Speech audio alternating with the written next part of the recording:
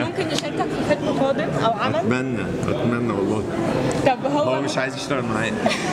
قال لي أنا لازم اعتمد على نفسي مش عايز أعتمد على اسم بابايا وحاجات زي كده. تفاصيل عن فيلم تفاصيل عن فيلم الباب يفوت جمل. إيه ده انت ده أنت مذاكرة. ده أنا مداري.